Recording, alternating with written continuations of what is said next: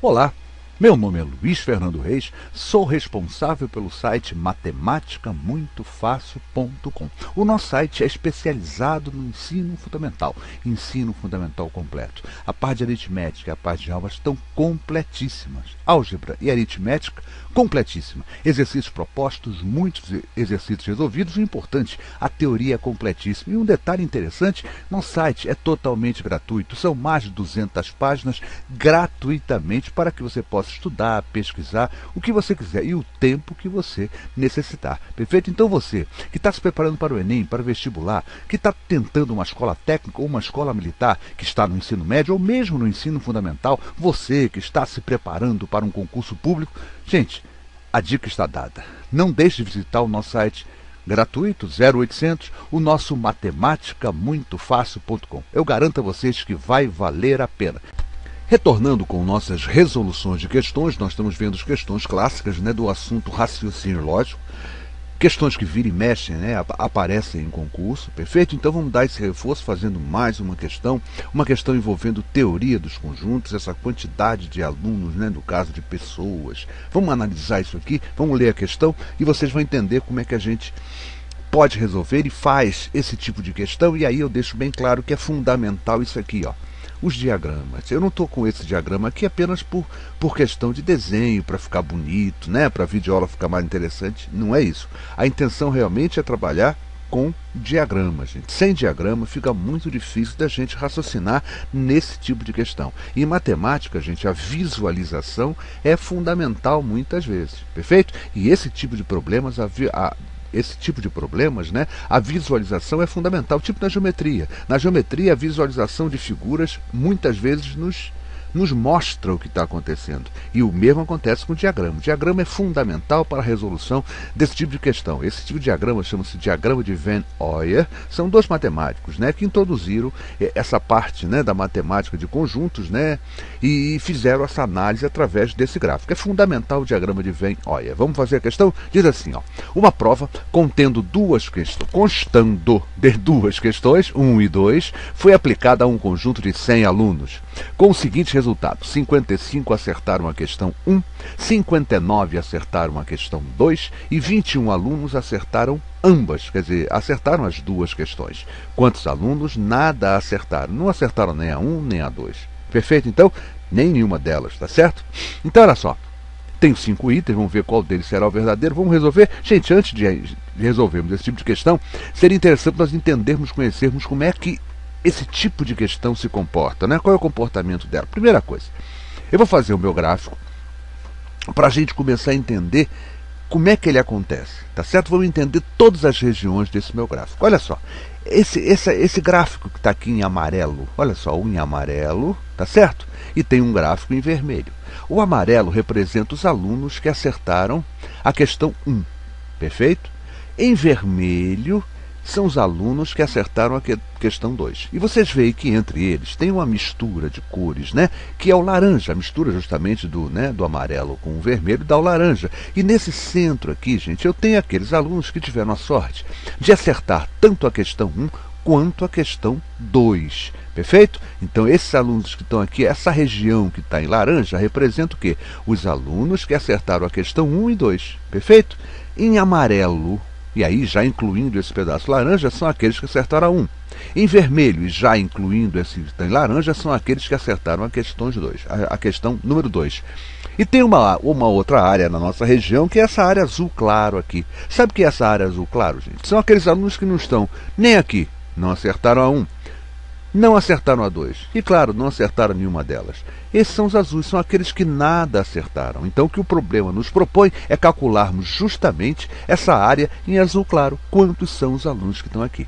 Perfeito? Então, vamos começar a raciocinar no problema? Olha só o que, é que meu problema diz. 55 acertaram a questão 1. Quer dizer que o conjunto 1 todo esse conjunto 1, inclusive, inclusive a parte laranja, é formado por 55 alunos.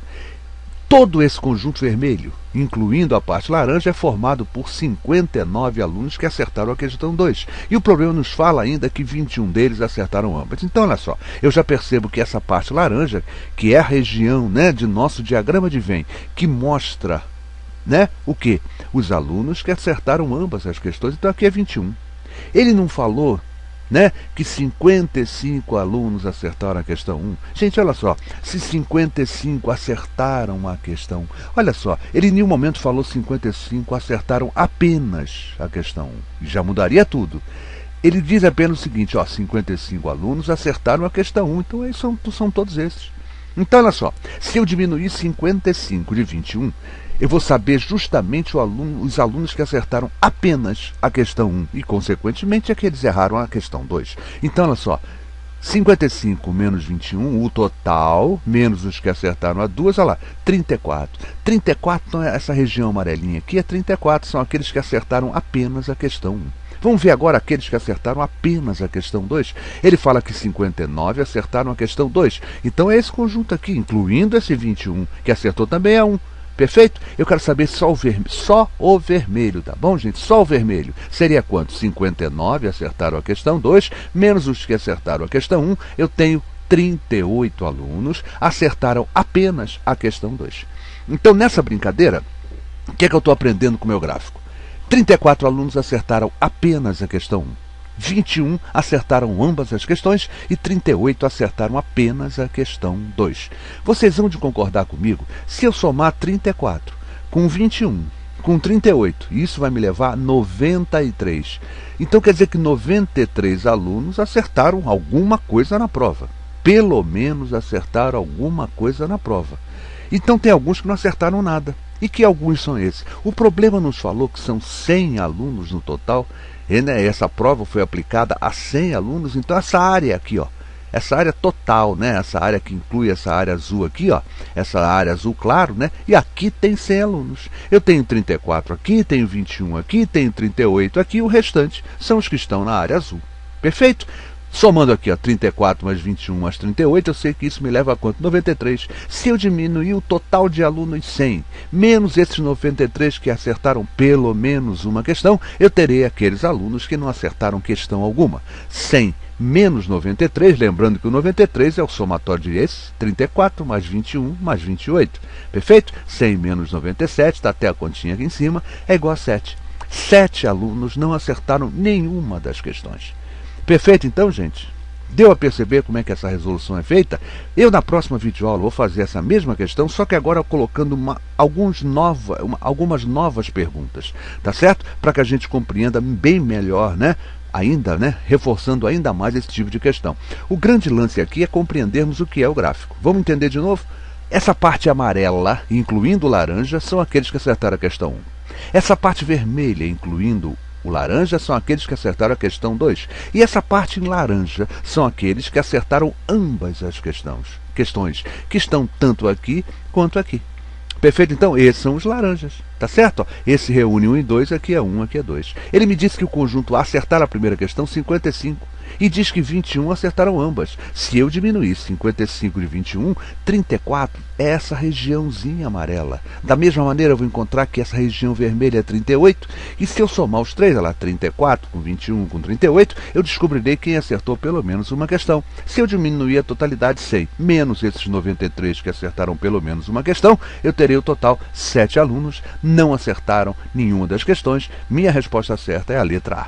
Perfeito? Quem lhes falou? Professor Luiz Fernando Reis, responsável pelo site matemáticamuitofácil.com. Fica daqui o convite para que os amigos visitem o nosso site. Por lá, o amigo encontrará um site com mais de 200 páginas, focada né, focado né, no ensino fundamental. E o importante é que é um site totalmente gratuito, você não paga nada, você fica livre para estudar o tempo que você achar necessário. O nosso site realmente é verdadeiramente gratuito, não tem restrita, não nada disso de login, de cadastro, de senha. Paga tanto para ter. O nosso site é totalmente gratuito. Perfeito? Então, gente, gostou da videoaula? Não deixa de se inscrever em nosso canal Matemática Muito Fácil. Aqui nesse link, você clica nesse link, esse link te leva a uma página e nessa página, quando você efetiva a sua inscrição, o YouTube lhe pergunta se você quer ser notificado. Queira ser notificado. E a partir daí, sempre que eu postar uma nova videoaula, o YouTube por e-mail comunicará aos senhores que o professor Luiz Fernando Reis acaba de postar um novo vídeo, né? uma nova videoaula. Gente, é isso aí. Obrigado pelo carinho, obrigado pela atenção. Vamos fazer essa questão agora já com outros tipos de perguntas. Perfeito? Então, é isso aí e até a nossa próxima videoaula.